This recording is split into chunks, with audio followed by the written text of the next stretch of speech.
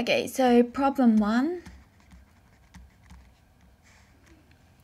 So Rutherford's model of the atom told us that most of the mass of the atom was concentrated in the nucleus.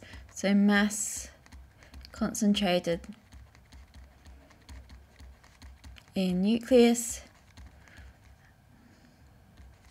Um, and that the nucleus was very small.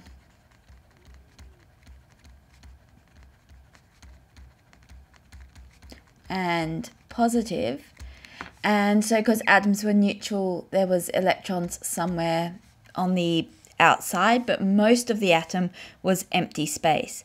And the main evidence that he had was um, the scattering of alpha particles. And he found most went straight through.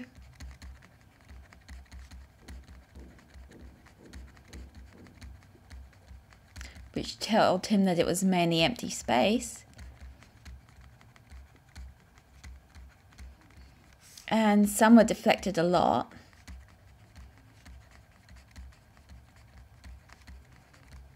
Which meant that there had to be a large concentration of mass. So what it couldn't explain was why if we had negative electrons around the outside and a positive proton in the middle, why didn't the electrons fall into the nucleus?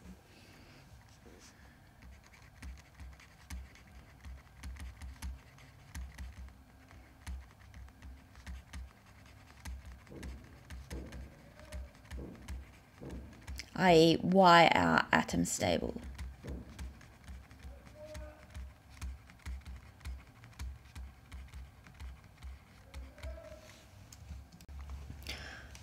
Okay, problem two. Um, which says describe one piece of evidence that supports the theory that neutral particles in a nucleus are not electron proton pairs. Okay, so we're showing that we don't just have a proton and an electron confined together inside the nucleus. Now, there's quite a few pieces of evidence. One is the Heisenberg uncertainty principle.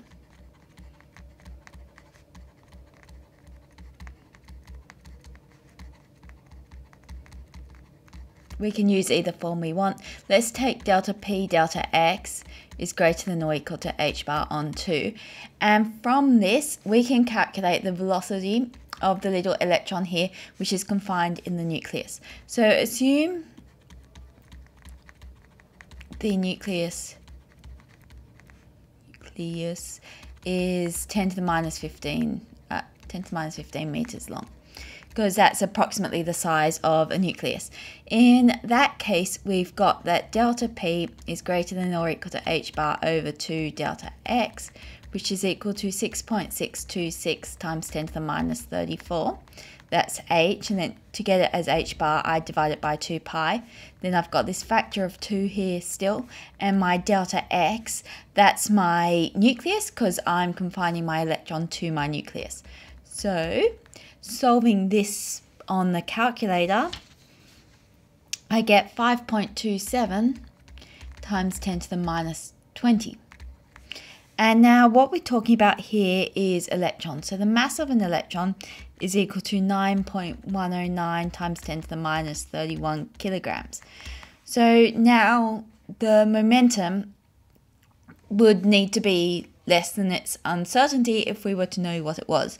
So let's take that the momentum is equal to the uncertainty in the momentum. In that case, the momentum is equal to 5.27 times 10 to the minus 20.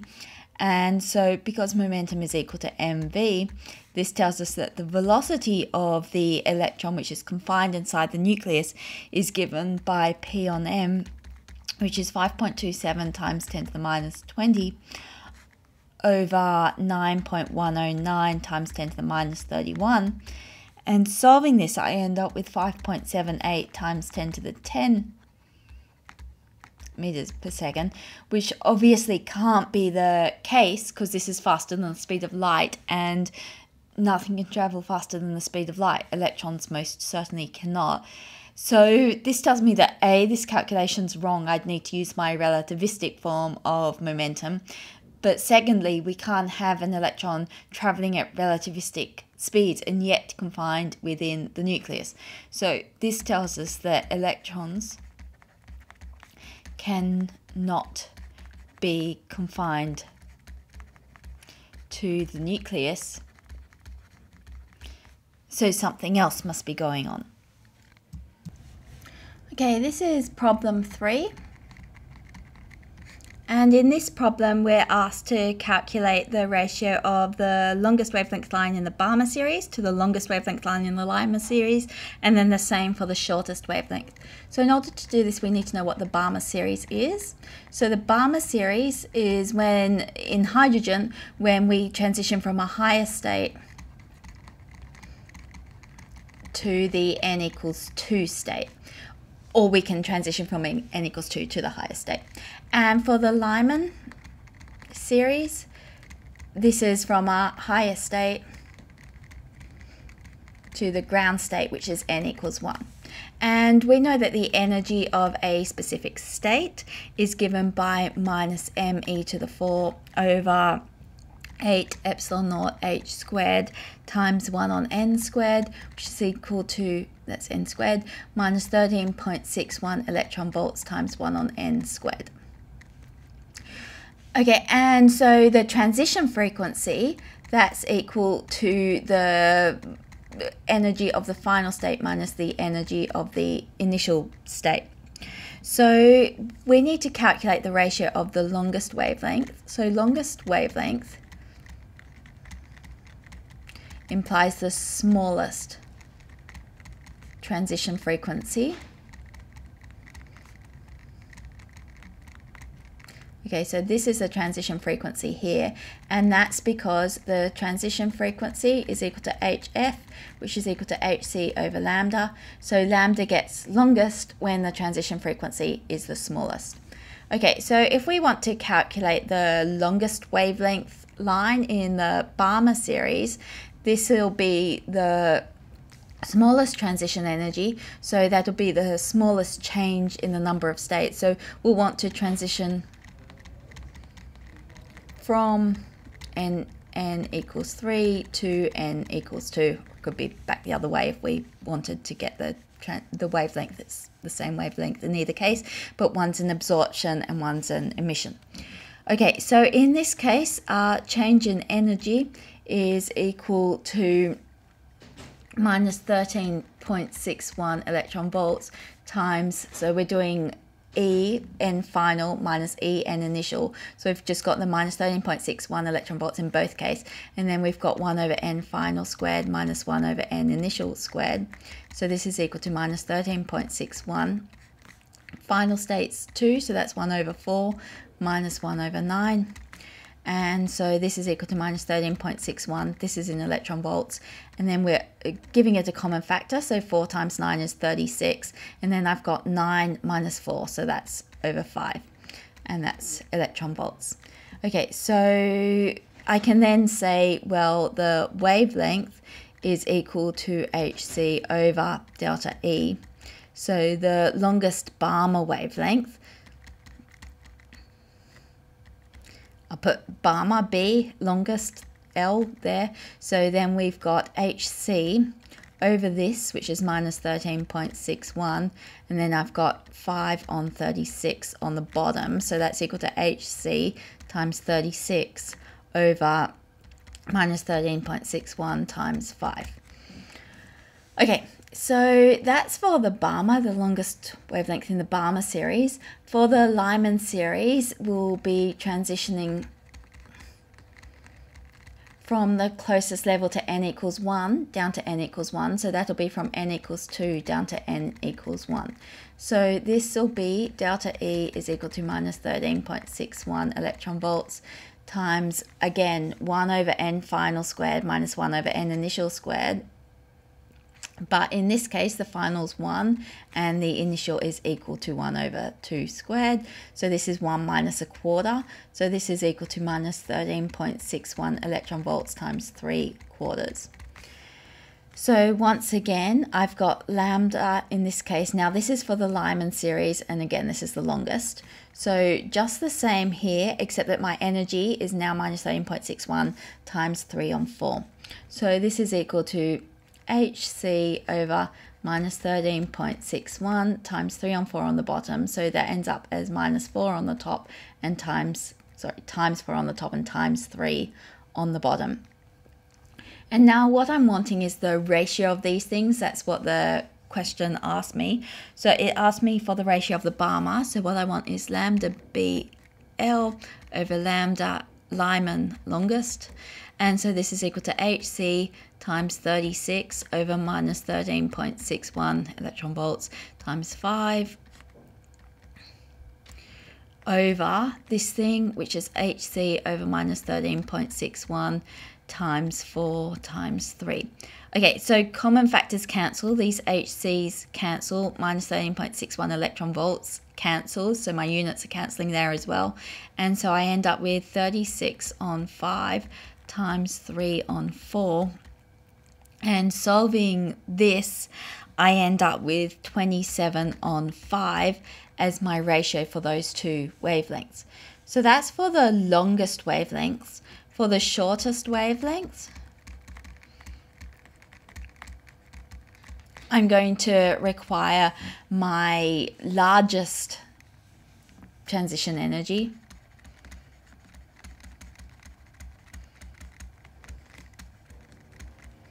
So in both these cases, this is going to be from the highest possible state. So this tells us that the initial state is going to be the infinite state, which is the unbound state. Um, so what I'm going to have in these two cases is again I'll get my um, transition energy this way so again I'll do Balmer on this side and Lyman on this side but now it's going from minus 13.61 electron volts and now my final state is going from the infinite state down to um, well in Balmer n equals 2 Lyman n equals 1 and so my final state is 1 over 2 squared. And then my initial state is this infinite state. 1 over infinity, that is equal to 0. And so this is equal to 1 quarter times 13.61 electron volts negative. Okay, so if it's transitioning down, then it's releasing this photon. And so then lambda, Balmer, and I'll put S for shortest there, is equal to, once again, I do HC divided by this thing. So I end up with this 4 on the top and then minus 13.61 electron volts on the bottom. And for the Lyman series, I've got minus 13.61 electron volts times 1 on 1 squared minus 1 on infinity squared. And so this is equal to minus 13.61 electron volts. And so lambda, lambda, uh, lambda Lyman shortest is equal to minus hc. Again, we're just substituting into here, hc divided by delta E minus 13.61 electron volts. And so our ratio, so our ratio, we've got lambda Balmer shortest over lambda Lyman shortest is equal to minus HC, well 4HC over 13.61 electron volts over minus HC over 13.61 electron volts. This cancels, this cancels, and so I end up with 4. Okay, so this is problem 4. We're asked to calculate A, the energy, B, the magnitude of the momentum and then C, the wavelength as an electron in hydrogen goes from the n equals 3 level to the n equals 1 level. So when the electron jumps down from n equals 3 all the way down to n equals 1, it's going to release a photon. So this is an emitted photon.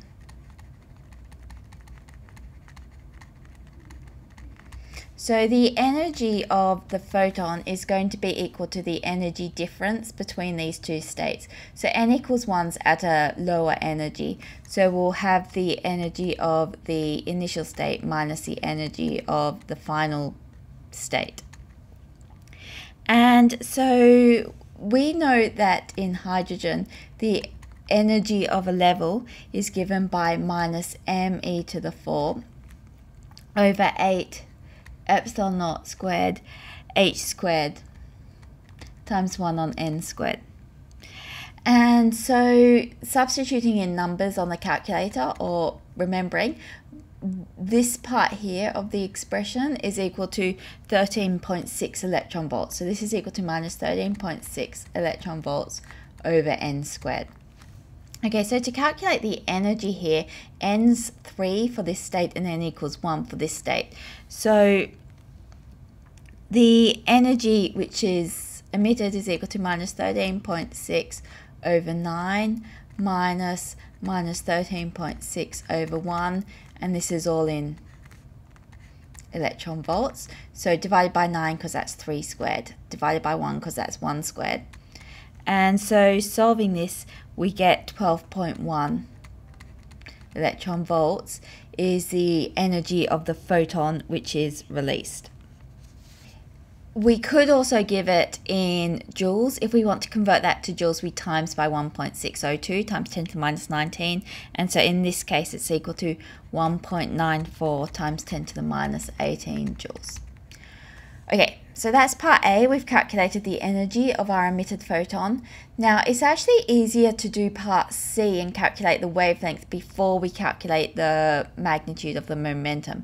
So let's do C. To do C, we can use E equals HF, where uh, using C is equal to F lambda, we have H times C on lambda. So this tells us that lambda is equal to HC on E. Okay, so h, that's 6.626 times 10 to the minus 34 times c, which is 3 times 10 to the 8, divided by e, 1.94 times 10 to the minus 18. We need this e in joules here. So solving this, we end up with 102 times 10 to the minus 9 meters, or we can write it as 102 nanometers. Okay, so now we've got the wavelength. Now to get the momentum, we can use that the momentum is equal to h over lambda. So this is equal to 6.626 times 10 to the minus 34 over 102 times 10 to the minus 9. And solving this, we end up with 6.47 times 10 to the minus 27 kilograms meters per second as the magnitude of the momentum. Problem 5.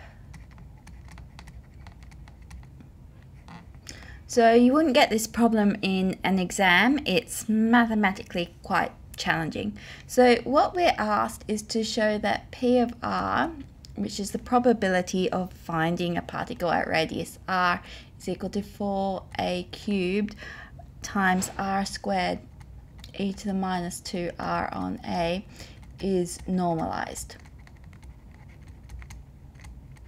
So something is normalized if when we sum it up over all values, it adds to 1.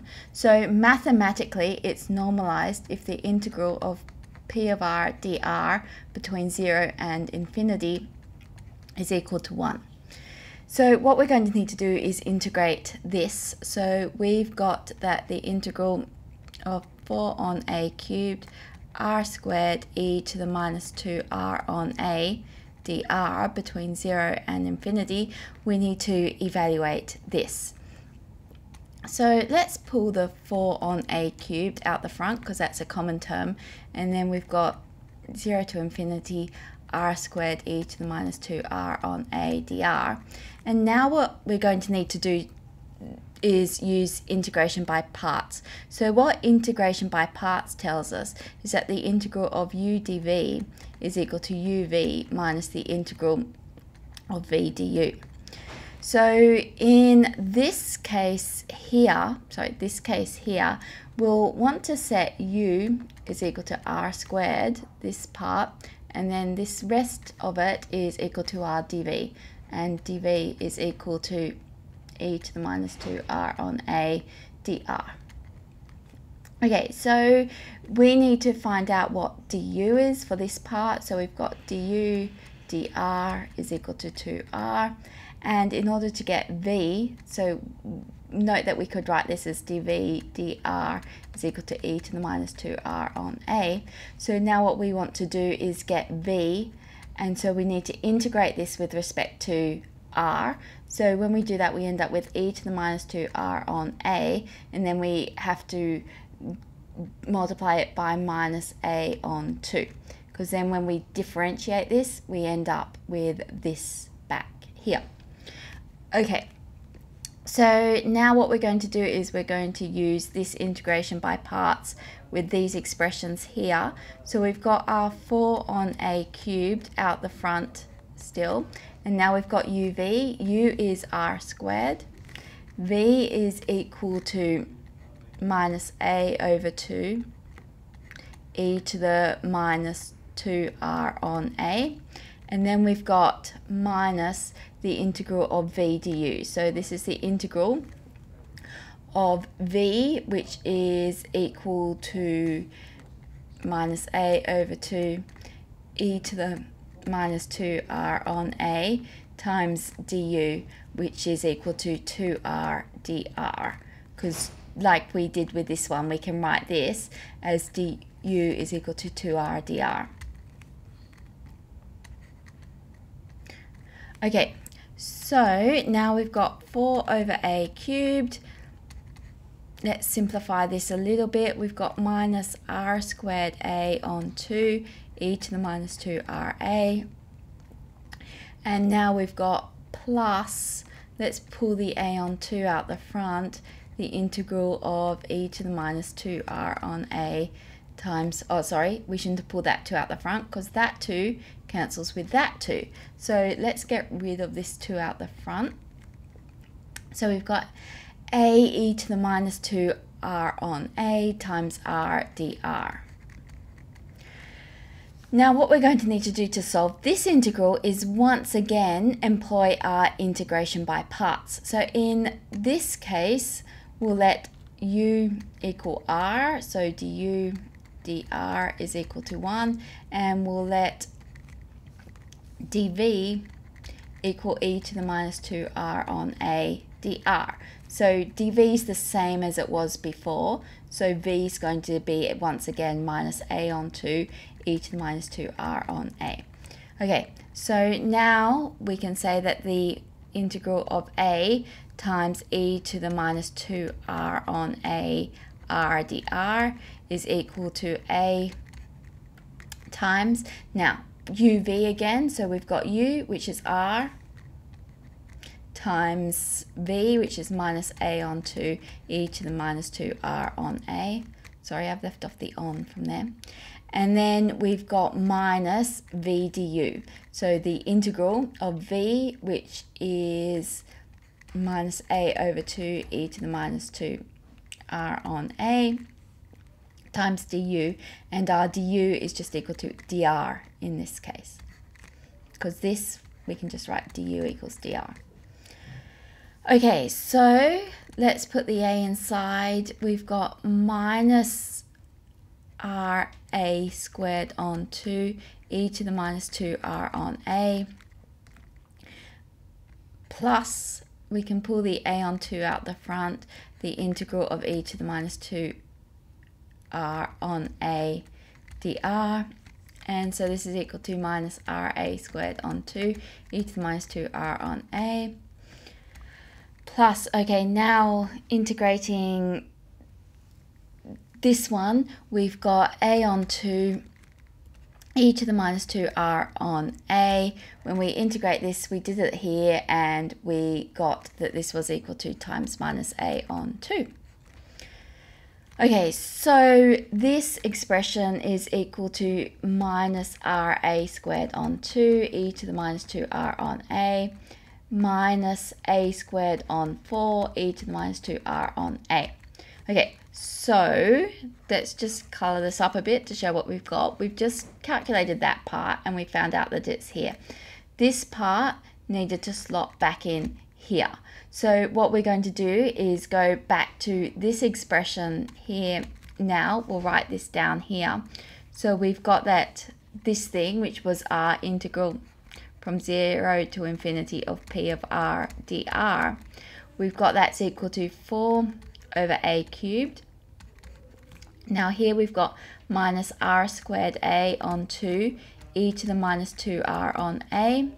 And then we've got this expression here, which is here. So this is equal to minus ra squared on 2 e to the minus 2r on a minus a squared on 4 sorry, we've lost a factor of a here. So when we were expanding this brackets, that should have been an a squared because it's a times a on 2. So that's a squared.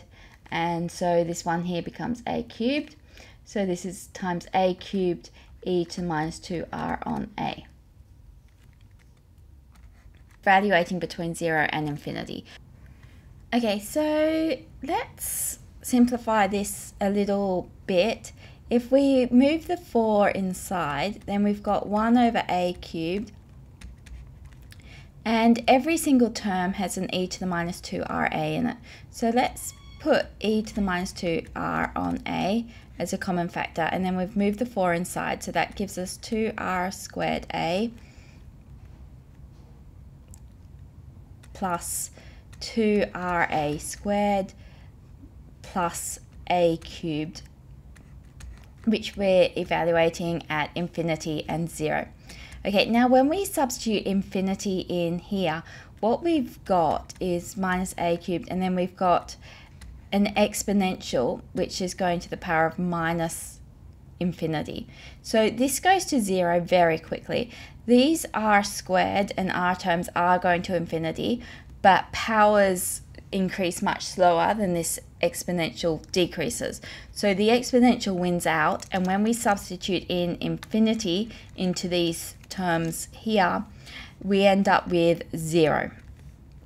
So then we need to substitute in zero. So then we've got plus e to the minus 2 times 0 on a, and then it's times 2 times 0 a plus 2 times 0 times a squared plus a cubed.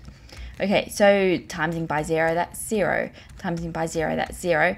When we do an exponent to the power of 0, we end up with 1. So this is equal to 1 on a cubed times 1 times a cubed. So we end up with 1. So we've just shown now that the this integral, when we integrate it between 0 and infinity, is equal to 1. So that's shown that this is normalized. Okay, so this is problem 6. So in this problem, we're told that the electron has a quantum number n is equal to 3. And we're asked to consider L ml, that's the projection of L, S, and ms, and how many electrons can fit into the n equals 3 level of the atom, and how does this relate to the periodic table?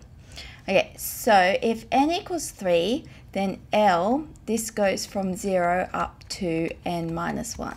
So this tells us that L can equal 0, it can equal 1, or it can equal 2. Now ML, these are the projections of L. So when L is 0, it's 0. When L is minus 1, then we've got ML is minus 1, 0, and 1. And when L is 2, we've got ML is equal to minus 2, minus 1, 0, 1, and 2. So ML goes between minus L all the way up to plus L. Okay, now for electrons, they have spin one half. So for all these states, S is equal to a half. And then MS, that's the projection of the spin, it can be um, plus one or minus a half. So there's two spin options there.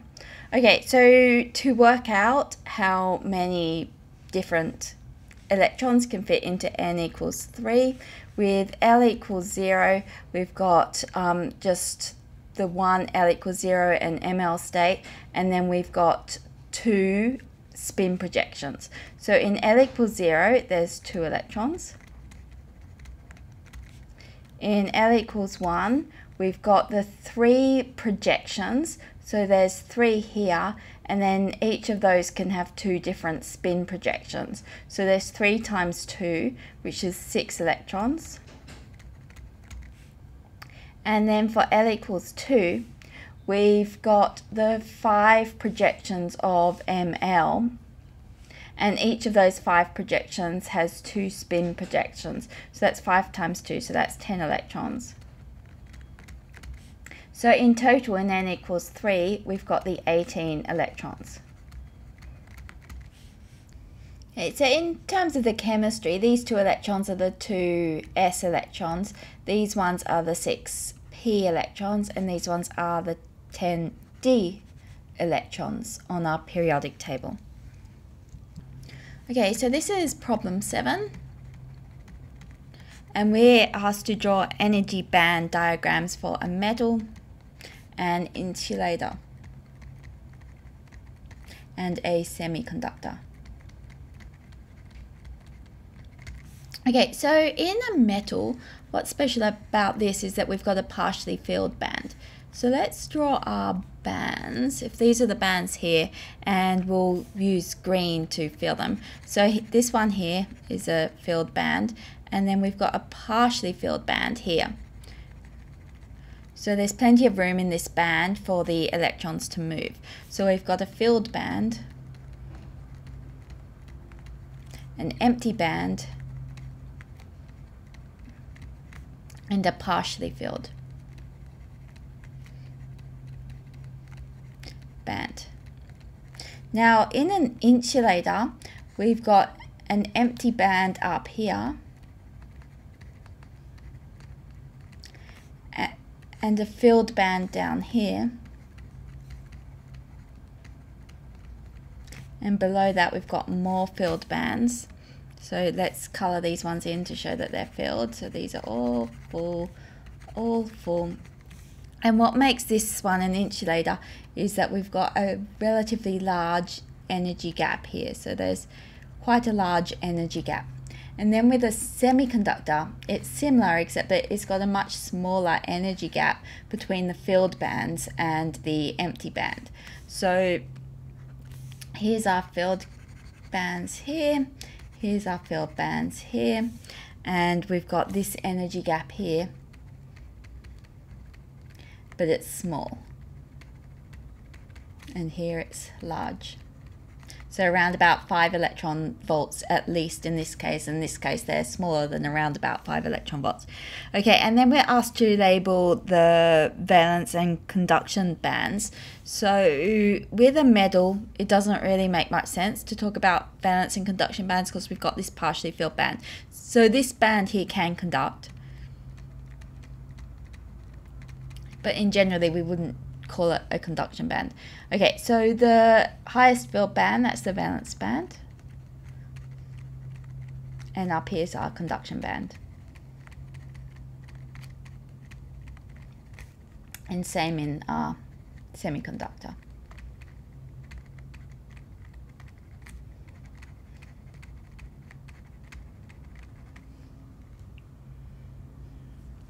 Okay, so the differences are with this one, we've got a partially filled band.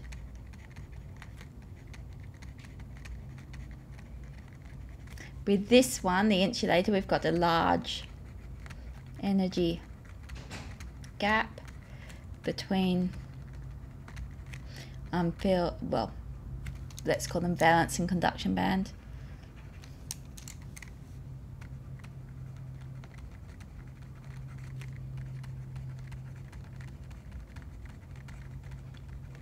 And here we've got a small gap energy gap between valence and conduction band.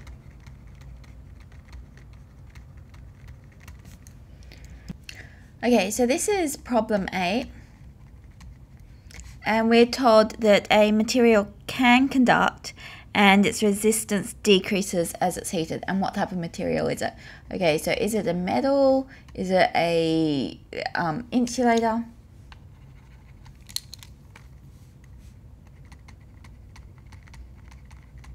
Or a semiconductor? Okay, so it can conduct so it could be a metal, it couldn't be an insulator as these don't conduct, it could be a semiconductor. Then as the temperature increases, resistance decreases. So with a metal, the resistance actually increases as the temperature increases. So this is not true for a metal. Insulators don't conduct. And for a semiconductor, this is true as more of the electrons can jump, use the thermal energy to jump into the conduction band. So we have more uh, conducting electrons as the temperature increases. So in this case, this must be a semiconductor.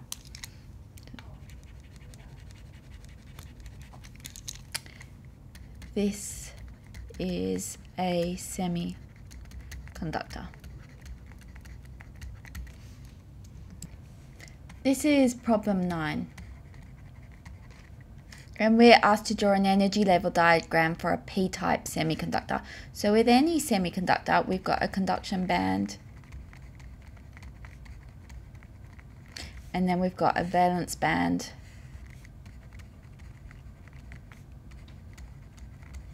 And so the valence band is filled with electrons.